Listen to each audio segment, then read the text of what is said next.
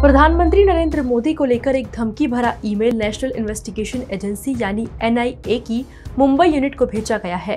इसमें पीएम को जान से मारने की बात लिखी गई है।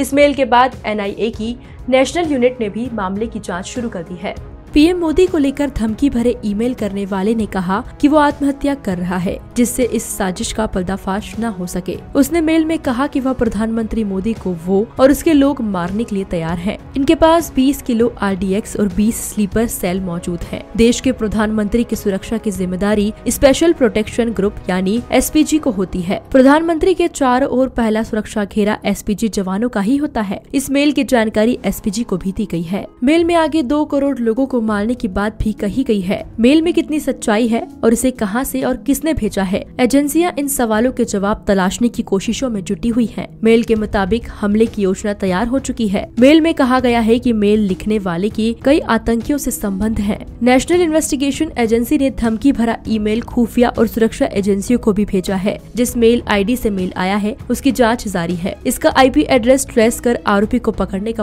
किया जा रहा है। Bureau report, Mridubhashi news. Video को लाइक और शेयर करें। मृदुभाषी से जुड़ने के लिए चैनल को सब्सक्राइब करें। खबरों के नोटिफिकेशन के लिए बेलाइकन दबाना ना भूलें।